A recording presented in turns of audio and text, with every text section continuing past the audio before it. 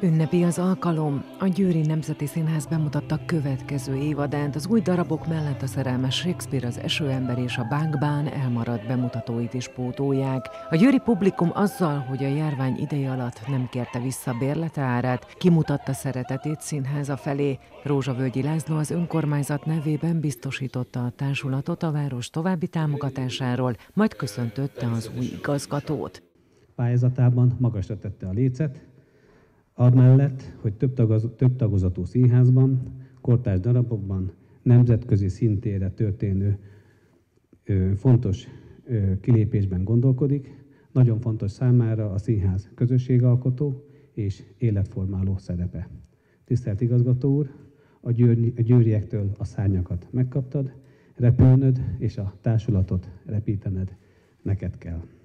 Velekei László a Győri Balett igazgatója értékelte az elmúlt évadot, majd szólt a novemberi The Waves és a Mimi című új estjükről. Legfontosabb az, hogy egészségesek tudtunk maradni, és nem panaszkodom, mert minden célkitűzéseinket meg tudtuk valósítani.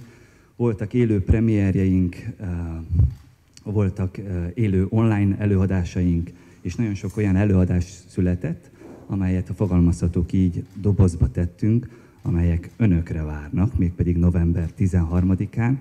A csütörtöki eseményen bemutatkozott a teátrum igazgatója Bakos Kis Gábor, aki július 1-ével kezdte meg működését. A jelen és a jövő színháza mottójú évad az életigenlés mellett tesz hitet. Nem véletlenül díszíti a színház homlokzatát Peter Brook idézete napok óta, mert azt gondolom, hogy a színház mindenek előtt az élet. Nagyon egyetértek Peter Brookkal, és azt gondolom, hogy az elmúlt időszak a mögöttünk, hogy ott nagyon furcsa hónapok megmutatták azt, hogy mennyire nagy szükség van arra, hogy a színház legyen, a közönséggel újra találkozni tudjon.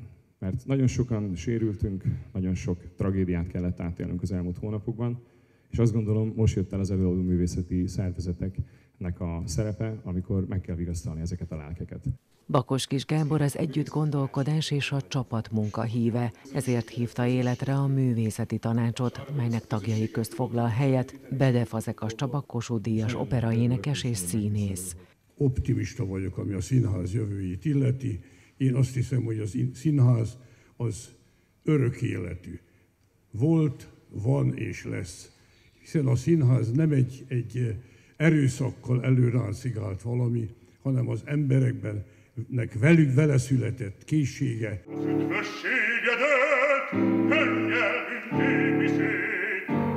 Azok szemében hordom a és átkozott könnyít, s míg a szívedben vágyatod, ez végül sem a Kóperával együttműködve a Bánkbánt augusztus 20-án adja elő a társulat a Margit-szigeti szabadtéri színpadon. A színház zenei tagozata magas színvonalon működik hosszú évek óta. A Kópera az mindenki számára egy nagyon hasznos és nagyon ö, ö, jó dolog, ö, azt gyanítom mind anyagilag, de művészileg mindenféleképpen. Országos szintű énekesek tömkellege fordul meg azóta, amiben ami Két kiváló énekesünk, Lázin Bea és Wilmer Jancsi, amikor olyan szerepek vannak, nagyon jól bele tudnak illeszkedni, ezt majd a bánkbánban is meg fogják látni. Élő dialógus a színház közösség és életformáló szerepét hangsúlyozzák az évad bemutatói. A nagy színpadi bemutatóinknak az első bemutatója az szeptember 23 és a Mirandolina Goldoni.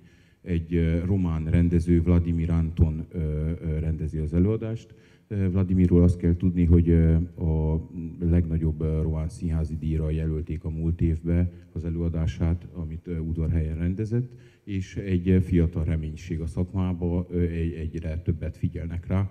Augusztus végén visszatér az élet a Győri Nemzeti Színház falai közé, és szélesre tárja kapuit a nézők előtt. A hűséges bérletesek bizalmát és kitartását egy-egy ajándék előadással köszönik meg a társulatok.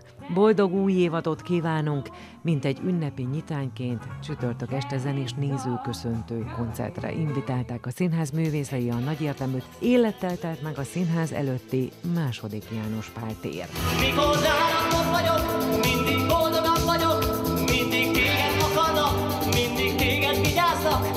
és mindig ott vagyok, egy darabon a szívemből.